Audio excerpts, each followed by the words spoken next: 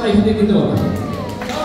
আমি এখন আপনাদেরকে এই থেকে একজন একজন করে এসে বিপদে কালেক্ট করতে অনুরোধ করছি। নাম বলার প্রয়োজন নাই।